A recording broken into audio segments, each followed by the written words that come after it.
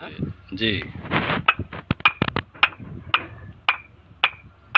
बस बस। चार दिन का ब्रिक है बिना केमिकल